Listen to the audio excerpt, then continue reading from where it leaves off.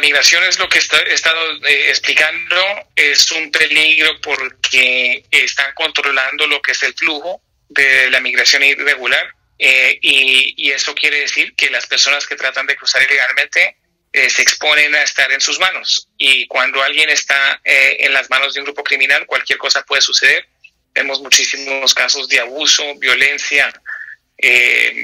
extorsión, secuestro y eso es lo que queremos prevenir eh, y por eso trabajamos tan de cerca con nuestros aliados en México y alrededor del hemisferio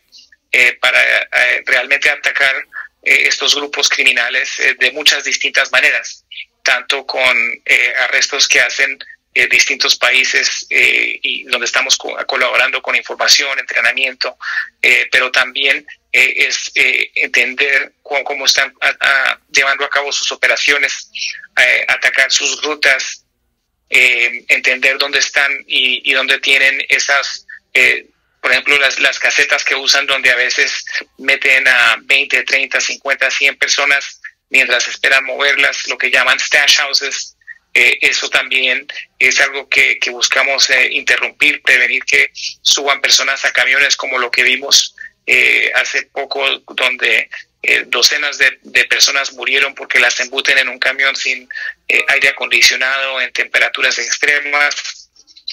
eh, y las personas mueren de asfixia, de, calor.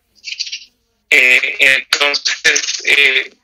buscamos atacar a estos grupos de, todo, de toda manera porque presentan una amenaza eh, para la que es eh, tanto que presentan otros, otras amenazas como lo que es el tráfico de sustancias ilícitas como